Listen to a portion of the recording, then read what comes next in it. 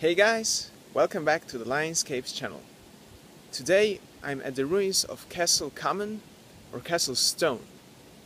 I will draw it to show you how to draw with watercolors or watercolor pencils.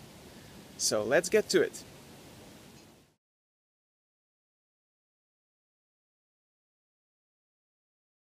One of my most frequently used drawing tools are watercolor pencils. In this video, I'm going to show you how exactly I draw with them.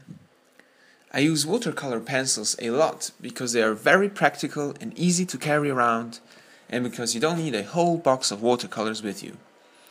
I mostly use them for fast sketches. When drawing with watercolor pencils, what I do first is draw a rough outline of the main element of the drawing. This one is a big castle ruin. When combining pen and watercolors, I usually use the watercolors for greenery. In this case, I'll draw the trees around the castle ruin to give it a frame. I draw the trees with one color first and create a basic composition that frames the castle and highlights it as a main feature in the drawing.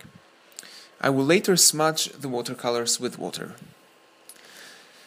Watercolor pencils do smudge well with water, but you cannot spread the color around much on paper, so apply color with the pencils everywhere you want before adding water. Watercolor pencils are also great because you can mix different colors on paper while they're still dry and then later blend them with water. To get more color richness and diversity, I also add some darker green and brown. If you want colors to blend nicely, it's important to add other colors before adding water. Once I like the composition of color on paper, I use a water brush to smudge it. A water brush is a kind of a pen filled with water. You can also use normal brushes, of course. As long as the paper is still a bit wet, there is another thing you can do to give it a kind of softness to the color. I will use another watercolor pencil and draw over the wet area. The hatching gives the drawing a kind of softness. I do this with two different colors.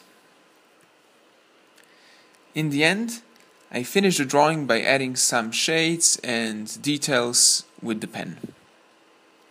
So, whenever you're traveling light and don't have the space for actual watercolors, you can use this technique with watercolor pencils to get interesting results. Hope you enjoyed the video.